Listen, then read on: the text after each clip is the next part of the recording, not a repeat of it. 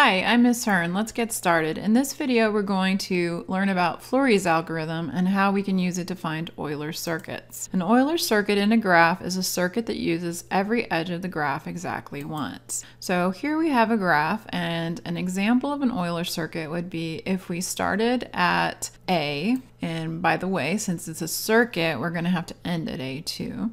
We go from A to B, B to C, C to D, D to E, E to F. Here we're going to turn because we got to get those edges in the middle if we're going to hit every edge exactly once. We're going to go to D and then to B and then to F and then back to A again. So this is an example of an Euler circuit. It's a circuit because it begins and ends at the same place. It's an Euler circuit because it hits every edge exactly once. We also learned Euler's theorem that if we have a connected graph, if the graph has an Euler circuit, then it implies that vertices of the graph each have even degree. And if we know that the vertices of the graph each have even degree, then the graph must have an Euler circuit. Another definition that we're going to need is a cut edge. A cut edge in a graph is an edge whose removal disconnects a component of the graph. For example, in this graph, if we were to remove edge CE, then the graph would no longer be connected. It would be separated into two completely isolated components. In fact, in this graph, both CE and GH are cut edges. Because if GH were removed, we would also have two components. We would have the component with everything except H, and then the component with just H by itself. So CE and GH are the cut edges in this graph. But no other edges are cut edges because you could remove them and the graph would still be connected. Let's identify the cut edges in this graph. Notice that if CE were removed, the graph would have two separate components. This is also the case if EF were removed or if ED were removed. So CE, DE, and EF are all cut edges. If any one is removed, it would disconnect the graph. Can you identify any cut edges on this graph?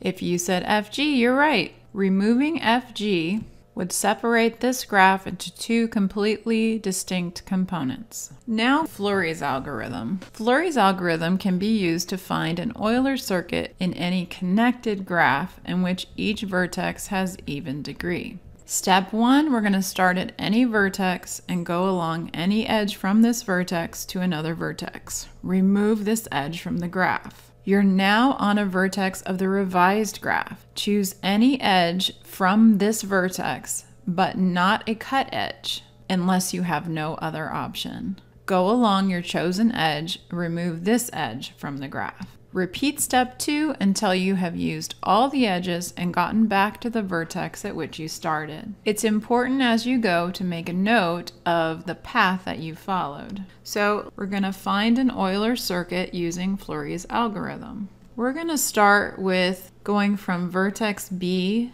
to vertex C, and here I've removed that edge from the graph. Make a note to yourself that you've gone from B to C. Once you get to C, you have an option of removing C to D, C to E, or C to F. Since none of these are cut edges, I just went ahead and picked one and I removed C to F. So I'm going to make a note to myself that I went from C to F. From F, we don't have any option. We have to go to D because there's no, no other edge that connects to F. So I've removed F to D. So let's make a note of that. Now that we're at D, we have several options. We can go to E, we can go to C, or we can go to A. Notice that if we go to A, we're removing a cut edge. We would be creating two completely distinct graphs.